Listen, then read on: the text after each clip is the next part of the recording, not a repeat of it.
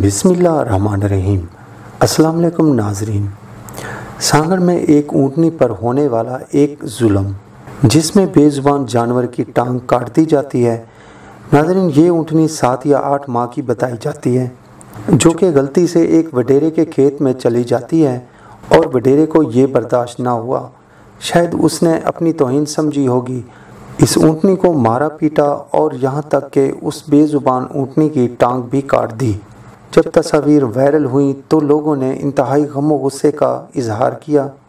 تو بعد میں اس اونٹنی کو ریسکیو کر لیا گیا اور علاج کے لیے کراچی کے اینیمل شیٹر میں منتقل کر دیا گیا۔ ناظرین، اس میں آپ دیکھ سکتے ہیں کہ اونٹنی کھڑی ہونے کی کوشش کر رہی ہے، لیکن یہ کھڑی نہ ہو سکی۔ اس کے ساتھ جو ظلم ہوا ہے، اس کے بعد یہ انسانوں سے ڈر رہی ہے۔ یہ بہت زیادہ سہمی ہوئی ہے۔ اس کی بہت اچھے طریقے سے اب خدمت کی جا رہی ہے۔ زخم کی نوعیت اگر دیکھی جائے تو ابھی زخم گہرا ہے، البتہ خون کی روانی رک گئی ہے۔ لیکن اس کے آنسو ابھی بھی بہہ رہے ہیں، درد سے چلا رہی ہے۔ کھانا پینا تو اس نے شروع کر دیا ہے، لیکن چلنا پھرنا ابھی مشکل ہے۔ اس لیے اس کو ٹھیک ہونے میں دو ماہ لگ سکتے ہیں۔ ناظرین، اونٹنی کا علاج تو ضروری تھا ہی، لیکن اس کے ساتھ ساتھ اس بدبخت کا علاج بھی بہت ضروری ہے۔ جس نے یہ کام کیا ہے۔ اس بدترین سلوک پر انسانیت بھی کانپ اٹھی ہے۔ اس اونٹنی کے رونے کی تصاویر آپ نے دیکھی ہوں گی۔ پاکستان میں ایسے ادارے بھی موجود ہیں جو جانوروں کی بھلائی کے لیے بھی کام کر رہے ہیں۔ اللہ کا شکر ہے جہاں انسانوں کی بھلائی کے لیے بہت سارے ادارے کام کر رہے ہیں، اس کے ساتھ ساتھ جانوروں کی بھلائی کے لیے بھی کام کر رہے ہیں۔ بتایا جاتا ہے ابھی سوزش ہے زخم ہے اور پہلے اس کو ٹھیک کیا جائے گا اور اس کے بعد اسے ایک مصنوعی ٹانگ لگا دی جائے گی۔ اسی طرح ہمارے پیارے آقا صلی اللہ علیہ وآلہ وسلم نے بھی انسانوں کے حقوق کے ساتھ ساتھ جانوروں سے بھی صلح رحمی سے محبت سے پیش آیا جائے۔ ان سے بھی شفقت کرنی چاہیے اور مار پیٹ کا معاملہ نہ کیا جائے۔ پروردگار عالم ہمارے دلوں میں بھی رحم فرمائے۔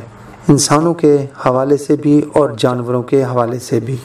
بسم اللہ الرحمن الرحیم۔ السلام علیکم ناظرین۔ سانگڑ میں ایک اونٹنی پر ہونے والا ایک ظلم، جس میں بے زبان جانور کی ٹانگ کاٹ دی جاتی ہے۔ ناظرین، یہ اونٹنی سات یا آٹھ ماہ کی بتائی جاتی ہے، جو کہ غلطی سے ایک وڈیرے کے کھیت میں چلی جاتی ہے اور وڈیرے کو یہ برداشت نہ ہوا۔ شاید اس نے اپنی توہین سمجھی ہوگی۔ اس اونٹنی کو مارا پیٹا اور یہاں تک کہ اس بے زبان اونٹنی کی ٹانگ بھی کاٹ دی۔ جب تصاویر وائرل ہوئیں تو لوگوں نے انتہائی غم و غصے کا اظہار کیا۔ تو بعد میں اس اونٹنی کو ریسکیو کر لیا گیا اور علاج کے لیے کراچی کے اینیمل شیٹر میں منتقل کر دیا گیا۔ ناظرین، اس میں آپ دیکھ سکتے ہیں کہ اونٹنی کھڑی ہونے کی کوشش کر رہی ہے، لیکن یہ کھڑی نہ ہو سکی۔ اس کے ساتھ جو ظلم ہوا ہے اس کے بعد یہ انسانوں سے ڈر رہی ہے۔ یہ بہت زیادہ سہمی ہوئی ہے۔ اس کی بہت اچھے طریقے سے اب خدمت کی جا رہی ہے۔ زخم کی نوعیت اگر دیکھی جائے تو ابھی زخم گہرا ہے۔ البتہ خون کی روانی رک گئی ہے۔ لیکن اس کے آنسو ابھی بھی بہہ رہے ہیں۔ درد سے چلا رہی ہے۔ کھانا پینا تو اس نے شروع کر دیا ہے، لیکن چلنا پھرنا ابھی مشکل ہے۔ اس لیے اس کو ٹھیک ہونے میں دو ماہ لگ سکتے ہیں۔ ناظرین، اونٹنی کا علاج تو ضروری تھا ہی، لیکن اس کے ساتھ ساتھ اس بدبخت کا علاج بھی بہت ضروری ہے، جس نے یہ کام کیا ہے۔ اس بدترین سلوک پر انسانیت بھی کانپ اٹھی ہے۔ اس اونٹنی کے رونے کی تصاویر آپ نے دیکھی ہوں گی۔ پاکستان میں ایسے ادارے بھی موجود ہیں جو جانوروں کی بھلائی کے لیے بھی کام کر رہے ہیں۔ اللہ کا شکر ہے، جہاں انسانوں کی بھلائی کے لیے بہت سارے ادارے کام کر رہے ہیں، اس کے ساتھ ساتھ جانوروں کی بھلائی کے لیے بھی کام کر رہے ہیں۔ بتایا جاتا ہے، ابھی سوزش ہے زخم ہے اور پہلے اس کو ٹھیک کیا جائے گا اور اس کے بعد اسے ایک مصنوعی ٹانگ لگا دی جائے گی۔ اسی طرح ہمارے پیارے آقا صلی اللہ علیہ وآلہ وسلم نے بھی انسانوں کے حقوق کے ساتھ ساتھ جانوروں سے بھی صلح رحمی سے محبت سے پیش آیا جائے۔ ان سے بھی شفقت کرنی چاہیے اور مار پیٹ کا معاملہ نہ کیا جائے۔ پروردگار عالم ہمارے دلوں میں بھی رحم فرمائے، انسانوں کے حوالے سے بھی اور جانوروں کے حوالے سے بھی۔ بسم اللہ الرحمن الرحیم۔ السلام علیکم ناظرین۔ سانگڑ میں ایک اونٹنی پر ہونے والا ایک ظلم، جس میں بے زبان جانور کی ٹانگ کاٹ دی جاتی ہے۔ ناظرین، یہ اونٹنی سات یا آٹھ ماہ کی بتائی جاتی ہے۔ جو کہ غلطی سے ایک وڈیرے کے کھیت میں چلی جاتی ہے اور وڈیرے کو یہ برداشت نہ ہوا۔ شاید اس نے اپنی توہین سمجھی ہوگی۔ اس اونٹنی کو مارا پیٹا اور یہاں تک کہ اس بے زبان اونٹنی کی ٹانگ بھی کاٹ دی۔ جب تصاویر وائرل ہوئیں تو لوگوں نے انتہائی غم و غصے کا اظہار کیا۔ تو بعد میں اس اونٹنی کو ریسکیو کر لیا گیا اور علاج کے لیے کراچی کے اینیمل شیٹر میں منتقل کر دیا گیا۔ ناظرین، اس میں آپ دیکھ سکتے ہیں کہ اونٹنی کھڑی ہونے کی کوشش کر رہی ہے، لیکن یہ کھڑی نہ ہو سکی۔ اس کے ساتھ جو ظلم ہوا ہے، اس کے بعد یہ انسانوں سے ڈر رہی ہے۔ یہ بہت زیادہ سہمی ہوئی ہے۔ اس کی بہت اچھے طریقے سے اب خدمت کی جا رہی ہے۔ زخم کی نوعیت اگر دیکھی جائے تو ابھی زخم گہرا ہے، البتہ خون کی روانی رک گئی ہے، لیکن اس کے آنسو ابھی بھی بہ رہے ہیں۔ درد سے چلا رہی ہے۔ کھانا پینا تو اس نے شروع کر دیا ہے، لیکن چلنا پھرنا ابھی مشکل ہے۔ اس لیے اس کو ٹھیک ہونے میں دو ماہ لگ سکتے ہیں۔ ناظرین، اونٹنی کا علاج تو ضروری تھا ہی، لیکن اس کے ساتھ ساتھ اس بدبخت کا علاج بھی بہت ضروری ہے، جس نے یہ کام کیا ہے۔ اس بدترین سلوک پر انسانیت بھی کانپ اٹھی ہے۔ اس اونٹنی کے رونے کی تصاویر آپ نے دیکھی ہوں گی۔ پاکستان میں ایسے ادارے بھی موجود ہیں جو جانوروں کی بھلائی کے لیے بھی کام کر رہے ہیں۔ اللہ کا شکر ہے جہاں انسانوں کی بھلائی کے لیے بہت سارے ادارے کام کر رہے ہیں، اس کے ساتھ ساتھ جانوروں کی بھلائی کے لیے بھی کام کر رہے ہیں۔ بتایا جاتا ہے ابھی سوزش ہے، زخم ہے اور پہلے اس کو ٹھیک کیا جائے گا اور اس کے بعد اسے ایک مصنوعی ٹانگ لگا دی جائے گی۔ اسی طرح ہمارے پیارے آقا صلی اللہ علیہ وآلہ وسلم نے بھی انسانوں کے حقوق کے ساتھ ساتھ جانوروں سے بھی صلح رحمی سے، محبت سے پیش آیا جائے۔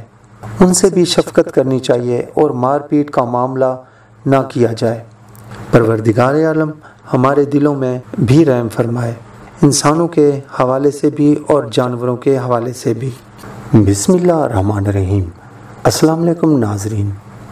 سانگڑ میں ایک اونٹنی پر ہونے والا ایک ظلم، جس میں بے زبان جانور کی ٹانگ کاٹ دی جاتی ہے۔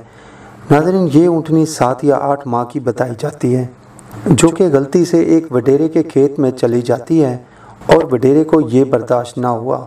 شاید اس نے اپنی توہین سمجھی ہوگی۔ اس اونٹنی کو مارا پیٹا اور یہاں تک کہ اس بے زبان اونٹنی کی ٹانگ بھی کاٹ دی۔ جب تصاویر وائرل ہوئیں تو لوگوں نے انتہائی غم و غصے کا اظہار کیا۔ تو بعد میں اس اونٹنی کو ریسکیو کر لیا گیا اور علاج کے لیے کراچی کے اینیمل شیٹر میں منتقل کر دیا گیا۔ ناظرین، اس میں آپ دیکھ سکتے ہیں کہ اونٹنی کھڑی ہونے کی کوشش کر رہی ہے، لیکن یہ کھڑی نہ ہو سکی۔ اس کے ساتھ جو ظلم ہوا ہے، اس کے بعد یہ انسانوں سے ڈر رہی ہے۔